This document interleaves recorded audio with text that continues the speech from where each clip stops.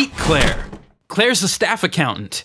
This was her last month. She just spent three days searching endlessly through a stack of integrity reports to reconcile every account.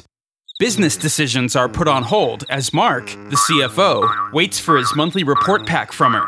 Eventually, Claire's able to reconcile her accounts. Well, apart from received not vouchered. But that's her usual month end defeat. Claire will need to make a provision to hit her deadline.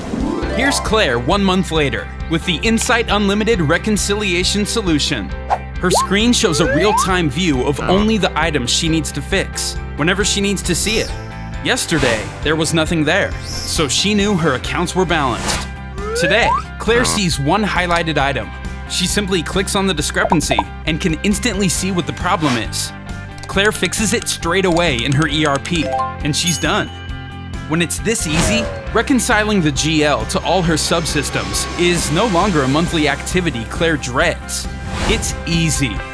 Let us show you a demo.